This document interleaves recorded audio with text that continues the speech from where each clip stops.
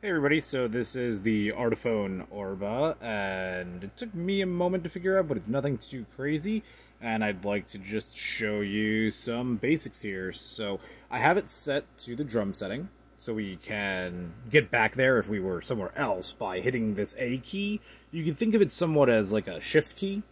So then you select your instrument, so if I wanted bass, I'd hit 2 there, but I want drums.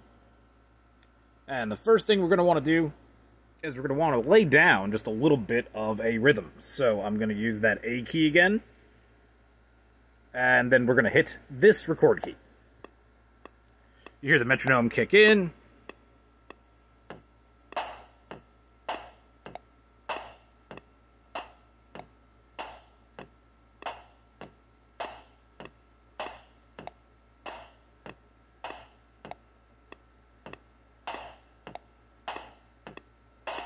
Alright, so I screwed up a little bit, but you know what? Doesn't matter. I'm going to stop recording, as you saw by hitting the A and the recording, the number 6 here. So then it went from red on 6 to green on 5. 5 is play. So now it's not recording. I can mess around however I want. Find various drum sounds before laying them down. So what I like to do is I like to get the bass, I like to get the kick going, then I'll go back and I'll redo with a hi-hat, which, uh, or a cymbal, sorry, with, in this case it'll be number seven.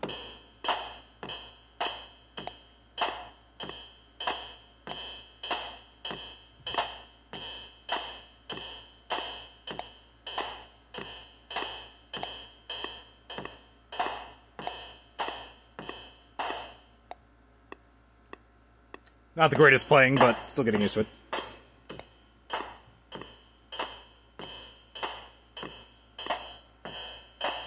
Okay, so I have my shitty drum part. I did awful as far as timing goes. I need to go back to my rudiments and practice my metronome. But let's say that this is flawless. We're moving on. I want to do a bass part. So we're already recording, as indicated by the red here. All we got to do is change instruments. So we'll change instruments over to bass. We do that again by pressing the A, the shift, so to speak, and hitting the bass. We want to play bass. Now this tells you where in the pattern you are, so now it's just getting started again. And I'm to play a little melody.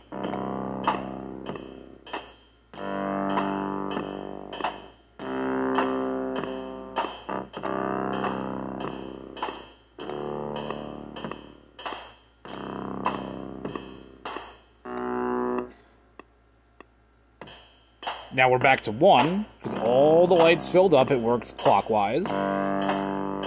And I don't need to continue playing.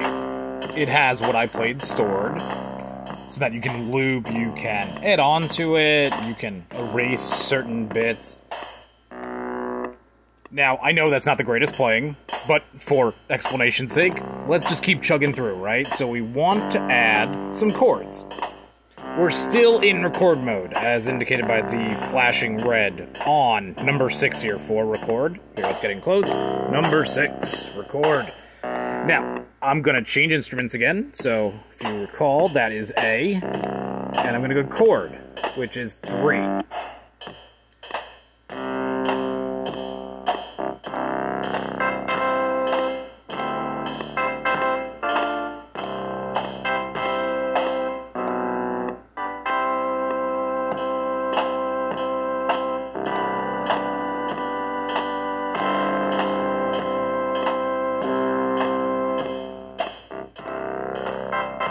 We've got a nice little three-part thing going here now. You guys are starting to kind of get the hang of it, I would assume. So let's put in a lead part. We're going to switch instruments. A, 4, which just happens to be lead.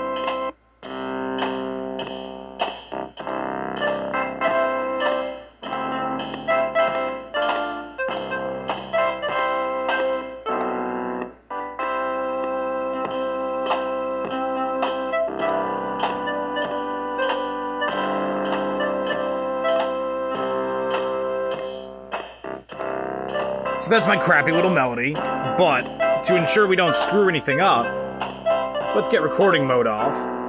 I just did that by hitting this A button, and then this little 6, the record to make it stop recording.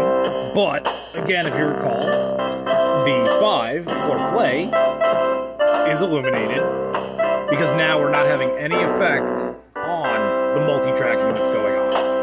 Just listening back to it. And yeah, this is uh, something that could have been much, much more refined in its composition. I could have done something much better, something much more complicated. It's really up to the user, the musician, to see how far they can stretch their creativity, their imagination, and uh, do so while keeping it in time. So I am going to hit the books and the metronome, and I'll get back to you guys in a bit. Take care.